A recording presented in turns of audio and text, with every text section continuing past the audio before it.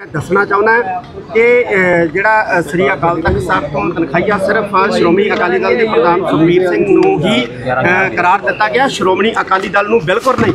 ਇਸ ਕਰਕੇ ਸ਼੍ਰੋਮਣੀ ਅਕਾਲੀ ਦਲ ਦੇ ਵਰਕਰ ਸ਼੍ਰੋਮਣੀ ਅਕਾਲੀ ਦਲ ਨੂੰ ਮਜ਼ਬੂਤ ਕਰਨ ਸ਼੍ਰੋਮਣੀ ਅਕਾਲੀ ਦਲ ਦੀ ਅੱਜ ਅੱਜ ਕੋਈ ਫੈਸਲਾ ਹੋਏਗਾ ਸੁਖਬੀਰ ਬਾਦਲ ਦੇ ਉੱਤੇ? ਅੱਜ ਵਿਚਾਰਿਆ ਜਾਵੇਗਾ ਕੁਝ ਸਵਾਲ ਸਿੰਘ ਸਾਹਿਬ ਆਪ ਜਾਰੀ ਨਹੀਂ ਕਿ ਫੈਸਲਾ ਨਹੀਂ ਆਊਗਾ ਜੀ। ਮੈਂ ਉਹੀ ਕਹਿਣਾ ਚਾਹੁੰਦਾ ਹਾਂ ਕਿ ਇਹ ਵਿਦਵਾਨਾਂ ਦੇ ਇਕੱਠ ਜਿਹੜੇ ਆ ਇਹ ਕੋਈ ਪਹਿਲੀ ਵਾਰੀ ਨਹੀਂ ਬੁਲਾਇਆ ਜਾ ਰਿਹਾ। ਸਮੇਂ ਸਮੇਂ ਦੇ ਉੱਤੇ ਮੈਂ 5 ਸਾਲ ਸ੍ਰੀ ਅਕਾਲ ਤਖਤ ਸਾਹਿਬ ਦੇ ਜਥੇਦਾਰ ਵਜੋਂ ਸੇਵਾ ਕੀਤੀ ਹੈ ਔਰ ਮੇਰੀ ਸੇਵਾ ਦੌਰਾਨ ਵੀ ਵਿਦਵਾਨਾਂ ਦੇ ਇਕੱਠ ਜਿਹੜੇ ਆ ਬਹੁਤ ਵਾਰ ਬੁਲਾਏ ਗਏ। ਵਾਹਿਗੁਰੂ ਵਾਹਿਗੁਰੂ ਵਾਹਿਗੁਰੂ। ਜੀ ਕਾ ਖਾਲਸਾ ਵਾਹਿਗੁਰੂ ਵਾਹਿਗੁਰੂ ਵਾਹਿਗੁਰੂ ਵਾਹਿਗੁਰੂ ਲੈ ਜਾ ਲੈ ਜਾ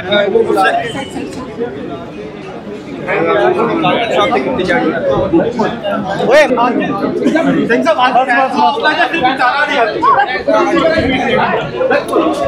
ਸਿੰਘ ਸਾਹਿਬ ਗਿਆਨੀ ਹਰਪ੍ਰੀਤ ਸਿੰਘ, ਜੋ ਕਿ ਇਸ ਵੇਲੇ ਅਕਾਲ ਦੇ ਪਹੁੰਚੇ ਨੇ ਬੈਠਕ ਹੈ, ਜੋ ਸ਼ਾਮਲ ਹੋ ਰਹੀ ਹੈ ਉਸ ਵਿੱਚ ਸ਼ਾਮਲ ਹੋਣ ਵਾਸਤੇ ਜਥੇਦਾਰ ਹਰਪ੍ਰੀਤ